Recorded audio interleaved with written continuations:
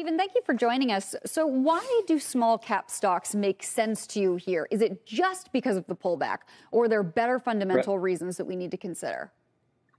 Look, let's take a step back. It's been a busy end of the year, and investors have been waiting for this broad Santa rally to emerge. And it does seem like the overall market, especially small caps, is set up for a rally from these levels. Because, like you said, outside of mega cap stocks, we've really just been marking time for a while now, even though fundamentals continue to improve. And so you mentioned earlier, we have the S&P 500 bumping up against all-time highs. But one has to understand that almost 40% of the strong year to date performance in the SPX has been from the top stocks, top five stocks in the index. And if you look, the small cap Russell 2000 is flat since the beginning of February, and small cap growth stocks have been down pretty dramatically over the last month. And I think the reality is is that we've been in this less good news environment really since the first quarter of the year.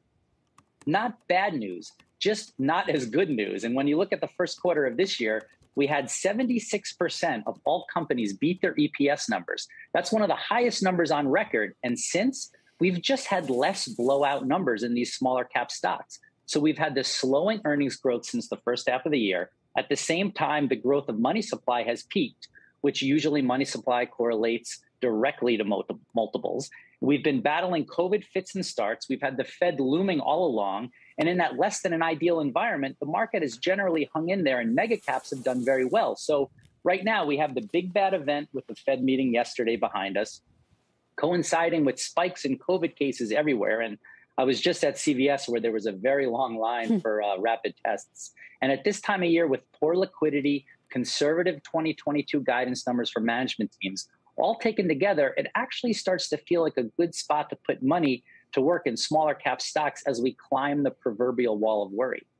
You mentioned the Fed decision yesterday, and now, of course, we have a little bit more information about where their heads collectively are when it comes to monetary policy. Knowing what we know now, based on what they had to say, do you think that you should buy in general the entire small cap space, but like the Russell 2000, or are you individually sure. stock picking? Look, at the Federated Kaufman funds, as we look into 2022, we realize, like you said, we are still in a low interest rate environment. Companies with secular growth themes and pricing power will still be growing.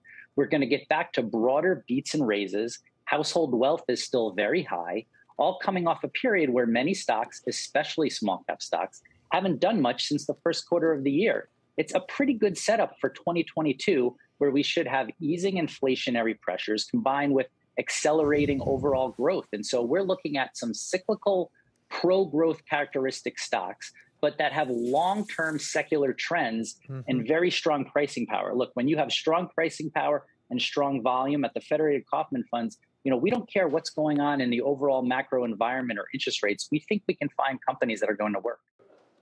Shepard Smith here. Thanks for watching CNBC on YouTube.